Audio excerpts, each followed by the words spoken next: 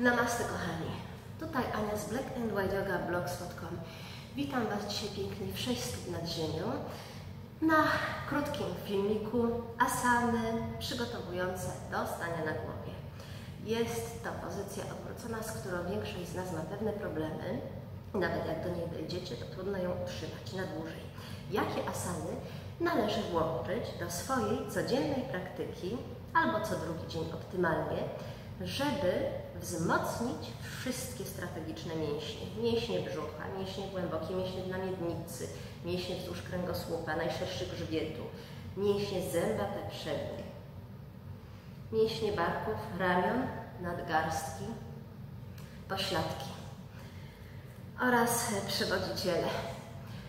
Ogólnie rzecz biorąc, jakie asany należy wykonywać, żeby wzmocnić wszystkie najważniejsze grupy mięśniowe oraz mięśnie, które wspomagają asanę podczas codziennej praktyki. Wybrałam najbardziej uniwersalne asany, które warto powtarzać od 3 do 5 razy w Waszej praktyce jogi. Rozgrzejcie się, zróbcie 10 powitań słońca i zaczynamy. Dzisiaj użyję niestety klocków piankowych, ale w domu mam korkowe i drewniane. Wy, jeżeli będziecie wchodzić do tej asany, koniecznie użyjcie klocków drewnianych albo korkowych.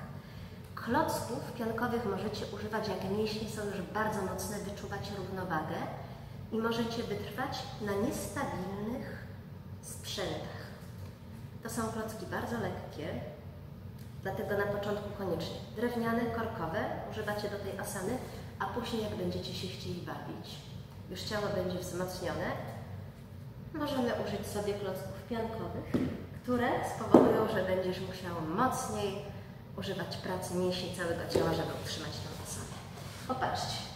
Dwa klocki stawiamy średnią wysokością, a trzeci największą, tutaj uwaga, najkrótszym kantem podłóżcie go pod tył głowy najkrótszym, może nie kantem, ale bokiem, krawędzią. Połóżcie sobie drugi klocek średnią wysokością pod łopatkami, bliżej dolnych krawędzi. Pierwszy klocek kładziemy sobie pod kostkami, tuż nad piętami, tak żeby nie był za wysoko na łydkach żeby pięty nie opierały się bezpośrednio na nim, ale Popatrzcie, były tak fajnie za niego zahaczone. A trzeci klocek kładziecie sobie pod tyłem głowy. Tutaj trochę dajcie sobie czasu, żeby wyrównać ciężar pomiędzy te trzy klocki. Ciężar ciała będzie równomierny pomiędzy kostkami, łopatkami i tyłem głowy. Dlatego tak ważne jest, żebyście na początku przepraktykowali deseczkę na trzech klockach, na klockach drewnianych albo korkowych, zanim weźmiecie się za te lekkie. Kładziemy sobie dłonie na dolnych żebrach, bierzemy wdech, z końcówką wdechu zasysamy brzucha, brzucha aktywne bandy, zaciskamy mięśnie krocza i z wydechem powolutku unosimy miednicę od razu, unosicie palce stóp do sufitu. Rotujecie uda do wewnątrz, czyli pracują nam przywodziciele, pracują nogi pośladki. I teraz rozkładacie ciężar ciała równomiernie pomiędzy trzy punkty podparcia, czyli trzy klocki. Utrzymajcie cały czas podwiniętą kość ogonową, brzuch wciągnięty.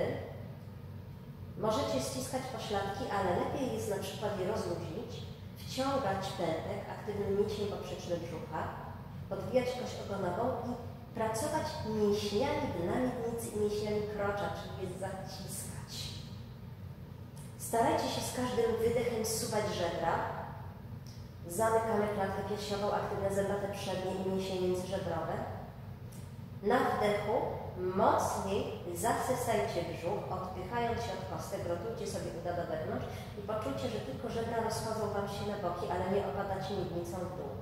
I tutaj wytrzymajcie na początku tylko tyle oddechów, dopóki ciało się nie trzęsie, a pozycja jest silna, po czym zejdźcie sobie na matę i zróbcie krótką przerwę, dopóki mięśnie nie przestaną się trząść.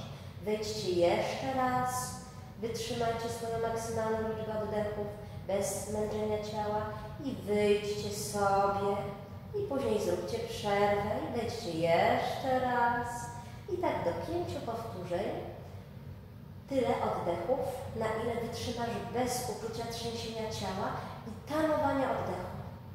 Ważna jest praca przywodzicieli, palce stóp do sufitu, bo jak nam się rozejdą, to przywodziciele nam sklecą. Podwijamy kość ogonową, zasysamy brzuch, pracujemy mięśniami krocza, mięśniami dna miednicy. Możesz sobie wyobrazić, że wstrzymujesz mocz jeszcze, zaciskasz zbieracz dosłownie, wciągasz pętek i z wydechem pracują nam żebra, zsuwają się do siebie. Całą pozycję trzymasz mięśniami brzucha.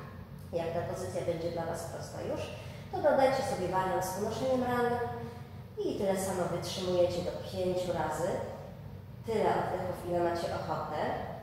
Jak widzicie, te piankowe klocki wcale nie są takie stabilne, więc będą mi się kołysały pod punktami podparcia. Drewniane i korkowe będą Wam stały mocno. Piankowe klocki to jest dodatkowe utrudnienie dla osób, które już czują tą pozycję, mają mocne mięśnie i mogą długo w niej wytrzymać.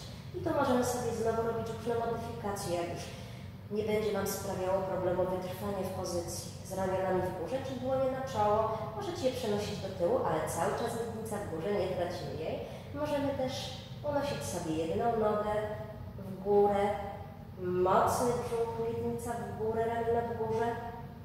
Spokojnie wyrównujcie zawsze ciężar ciała na lewym prawym biodrze.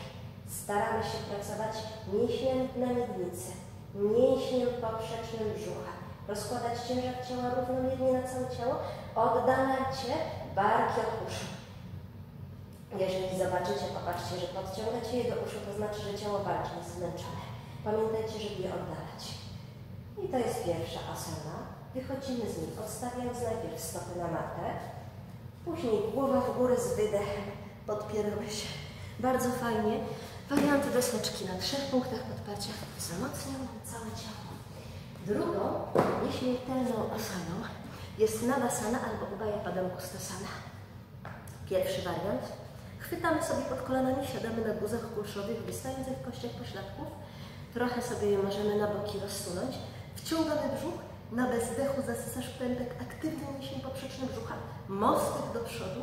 Z wydechem zbliż łopatki do pleców, podbródek do mostka, wszystkie bandy aktywne i unosimy sobie powolutku nogi. Ustawiamy łydki mniej więcej równolegle do maty. Wciągasz brzuch, podciągasz trochę nosek do przodu i zostajesz w pozycji. Dopóki ciało się nie trzęsie. Różne warianty nawasany pokazywałam w poprzednich filmikach, także wróćcie sobie do nich. Możecie też robić fajną pozycję ze skrzyżowaniem kostek, podciągnięciem pod piszczele, przyciąganiem brody do mostka, wciąganiem brzucha i utrzymywaniem równowagi. Ubaja Padangustasana. Możecie ją zrobić z paskiem. Będzie na oddzielnym filmiku. Albo chwytamy za duże palce stóp. Jeżeli za duże palce stóp, znowu zaczynamy od takiej samej pozycji jak na basenach. Wciągasz brzuch, mostek do przodu. Chwytasz zawsze kciukami, palcami wskazującymi i środkowymi. Powolutku, odchylając się w tył, doklejując lekko łopatki do pleców, Prostujemy sobie nogi, od razu odciągasz palce stóp, wypychasz dłonie w górę, wciągasz brzuch, odchylasz lekko podbródek do tyłu, utrzymujesz równowagę, ściągasz barki w dół i łopatki do pleców. Zasysaj brzuch i oddychaj żebrami na boki. Boczno-żebrowy oddech. Jeżeli masz bardzo długie ręce albo czujesz, że barki podchodzą w górę, to możesz wtedy wziąć pasek i sobie go opleść pod poduszkami palców. Staraj się ściągać palce w górę, wciągaj brzuch, barki w dół od uszu. Możesz odchylić podbródek, chociaż ja jeszcze lubię wersję z podbródkiem do noska i ściąganie barków w dół jest trudniejsze. I wytrzymujesz tyle, ile dasz radę, jeszcze rotuj uda do wewnątrz. Pracuj przywodzicielami. Jak już poczujesz, że mięśnie drżą, schodzisz sobie stopami na matę. Trzecia nieśmiertelna asana, Purvattanasana blat stołu albo odwrócona deseczka. Robisz sobie naturalny brzeg stopami w przód i je łączysz. Łączysz też kolana i rozłączasz same pięty, palce na końcu kolana.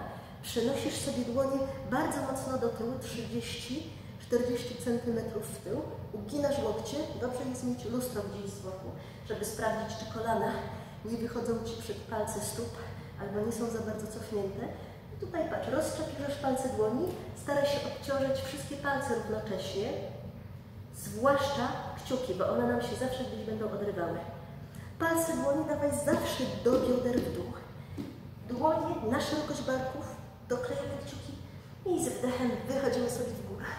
Jak poczujesz, że chcesz zrobić mały kroczek dłoni do przodu, rozgób, wypchnij miednicę, możesz szerzej rozstawić stopy, ale rotuj uda do wewnątrz, natomiast patrz na kolana, żeby się nie zbiegały do środka i nie rozchodziły. Zostań na 3 do 5 oddechów i tutaj robisz sobie 5, nawet do 10 purwottanasana w trakcie swojej praktyki. Popatrz, cały czas odpychasz się od aktywnych dłoni w górę. Lekko miękkie łokcie, aktywujesz tricepsy, bicepsy. Idziesz w górę klatką, całe ramiona aktywne. Wręcz otwieraj barki lekko na zewnątrz, wciągaj brzuch. Pracuj mięśniami krocza i nie rób tego. Większość osób odrywa duże palce stóp oraz całkowicie palce stóp albo idą im stopy na zewnątrz. Stopy stoją mocno na macie, obciążasz je równomiernie. Trzy punkty podparcia, środki pięt, zewnętrzne, wewnętrzne krawędzie stóp, duże, małe palce. Wytrzymujesz dopóki ciało nie drży. Zwykle to jest 3 do 5 oddechów. I sobie z wydechem wychodzisz. Odpoczywasz chwileczkę, możesz przejść do dowolnego skłonu, porozciągać się. Głębokie wdechy i długie wydech. Możesz spuścić nieco napięcia. Pooddychaj. Jak już odpoczniesz, znowu przeszłabym do jakiegoś wariantu nawasany albo ubajapadam ustasany. Pokażę Wam fajną wersję z zabawą z podchodzeniem nóg. Znowu siadamy na puzach uszowych, lekko pośladki na zewnątrz, ale nie za mocno. Wciągasz brzuch, chwytasz palcami wskazującymi środkowymi i kciukami za duże palce stóp, łapiesz równowagę, zasysasz pępek na bezdechu, aktywuj mięśnie krocza i mięśnie na miednicy. Znowu wyobraź sobie, że zaciskasz zbieracz. Mostek do przodu, zaczynamy unosić porządku nogi, doklej łopatki do pleców mocno, zrotuj uda do wewnątrz, wypychaj palce stóp w górę, opuszczaj barki od uszu, aktywuj łopatki, poczuj pracę się między łopatkami. Podbródek albo lekko w górę. Ja sobie wypracowałam wersję z podbródkiem do mostka. Teraz zostań na kilka oddechów, wciągając mocno brzuch, zasysając pępek na końcu wdechu, na końcówce wdechu. Złap równowagę pomiędzy kością ogonową, powolutku, a guzami kulszowymi. Jak już masz tą równowagę, to zacznij z wdechem lekko odwodzić nogi, ale nie pozwól plecom się zaokrąglić i zrobić fikołka w tył. I z wydechem łącz nogi, rotuj bardziej uda i kolana do wewnątrz, barki dół od uszu cały czas aktywne. I z wdechem na zasanym. Idziemy sobie nogami na zewnątrz tylko tyle, ile możesz. Mostek do przodu, barki dół i wydech. Wydech żebra do siebie, kolana bardziej do wewnątrz, uda do wewnątrz, łączysz nogi. I jeszcze raz wdech, bardzo powolne ruchy, wciągasz brzuch, barki w dół od uszu. I wydech, suwasz żebra do siebie i automatycznie łączysz nogi. I możesz zrobić 3 do 5 powtórzeń. Uwaga, jeśli ciało się zmęczy, odpoczywasz.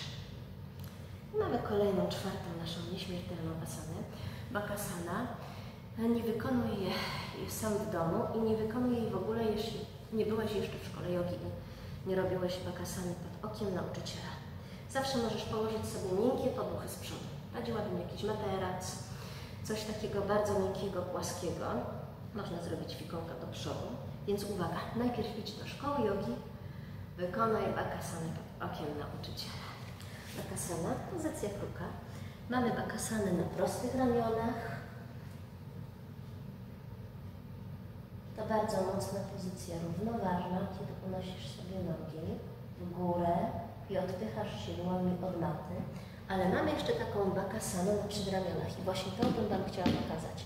Nie dla każdego będzie wygodna, aczkolwiek jest znakomita w przygotowaniu do stania na głowie.